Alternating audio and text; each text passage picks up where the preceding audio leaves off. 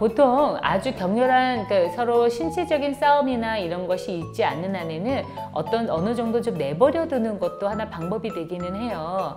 왜냐하면은 어, 아이들이 스스로 이런 걸 해결해 나가는 걸 통해서 사회성이라든지 이런 걸 배우는 기반을 닦아 나가기도 합니다. 동생이 이것 때문에 굉장히 스트레스를 받고 있다라는 것이 감지가 되시면 개입은 하시는 게 맞겠습니다. 그런데 이럴 때요, 너 왜 자꾸 동생 괴롭혀? 이렇게 해서 자꾸 이 괴롭히는 형에게 초점을 두시잖아요. 이렇게 되면 이 행동이 이상하게 더 강화가 돼요. 왜냐하면 이것도 또 자기에게 주는 관심이라고 생각하게 됩니다. 참 이사, 이상해요. 그렇죠?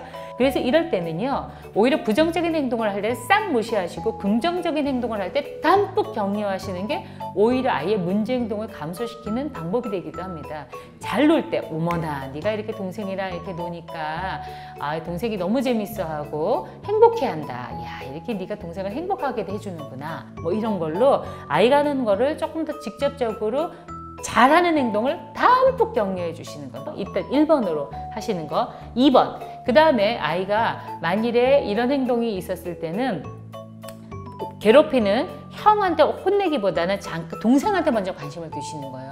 아이고 형아가 이렇게 이렇게 해가지고 우리 동생이 너무 속상해졌구나. 형을 완전히 무시하시고 이 아이가 속상한 것을 많이 공감해 주시면서 얘랑 이야기를 좀 하시는 거예요. 이렇게 되면 이 형아가 소외되잖아요. 그러니까 이럴 때 그러면 애가 좀 가만히 이렇게 해서 이게 아 이렇게 되면 내가 완전히 철저하게 소외되는구나 라는 걸 경험하게 됩니다. 그러고 난 다음에 형 일로 와봐 어떻게 된 거야?